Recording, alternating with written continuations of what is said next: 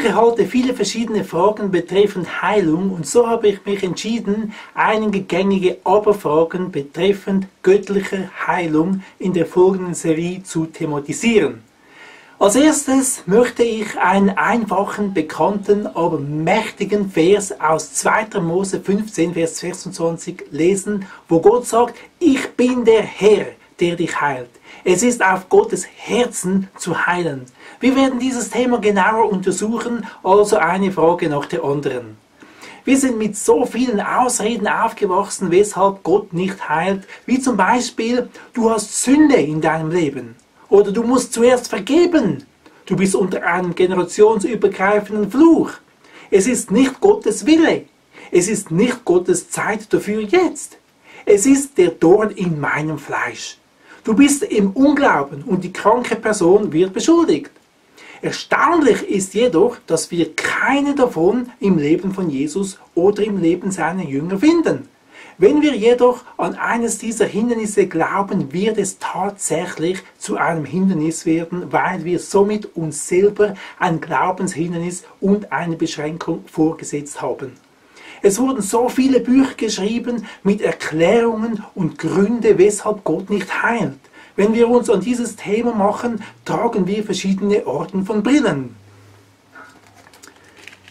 Findest du meine Brille? Religion. Einige schauen durch die Brille der Religion und finden somit viele fromme Gründe, weshalb Gott nicht heilt. Erziehung. Andere schauen durch die Brille so aufgewachsen und erzogen. Sie haben nie etwas anderes gehört und deshalb weder hinterfragt noch viele Gedanken darüber verloren meine Erfahrungen. Einige schauen durch die starke Brille der eigenen Erfahrungen. Du sagst vielleicht, aber ich habe es so und so erlebt und deshalb kann ich in diesem oder jenem Fall unmöglich Heilung der Wille Gottes sein. Wir werden das ganz genau untersuchen.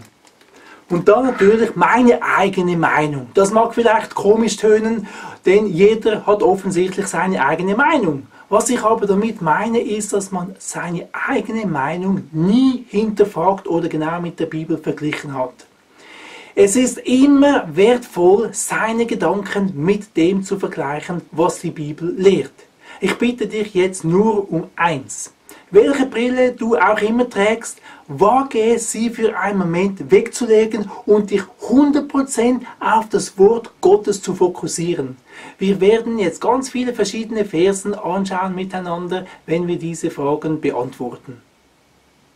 Ich werde versuchen, jede Aber-Frage so kurz wie möglich zu beantworten, denn ich bin mir bewusst, dass die Menschen heutzutage nicht viel Zeit haben. Ich habe dieses Thema in zwei Hauptteile aufgeteilt. In den ersten neun Fragen spreche ich über Hindernisse zur Krankenheilung entfernen. Und hier sind die Fragen. Aber es ist nicht immer Gottes Wille, dass jeder geheilt wird. Aber sogar Jesus konnte nicht alle heilen wegen ihres Unglaubens. Aber benutzt Gott nicht Krankheit, um uns zu erziehen? Aber Paulus wurde auch nicht geheilt von seinem Dorn im Fleisch. Aber Paulus hat Menschen krank zurückgelassen.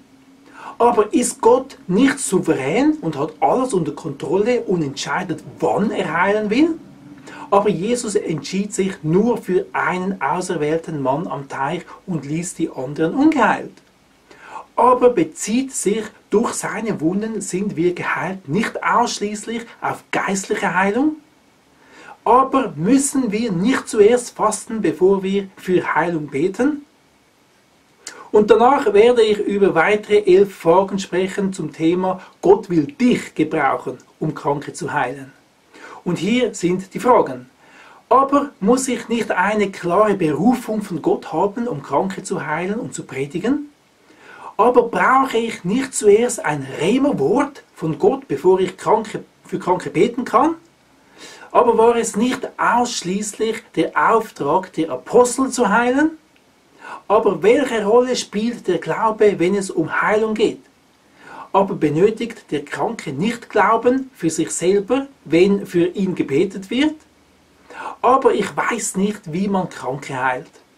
Aber haben wir wirklich Autorität und Macht über Krankheiten und Dämonen? Aber wie übe ich Autorität über böse Geister und Krankheiten aus? Aber was mache ich, wenn es scheint, als sage Gott Nein zu meiner Heilung? Aber welche ist die richtige Perspektive von biblischer Heilung? Und zuletzt, aber was hat ein Botschafter Christi zu sein mit Heilung zu tun? Vielen Dank, dass du dir das angeschaut hast und bis bald.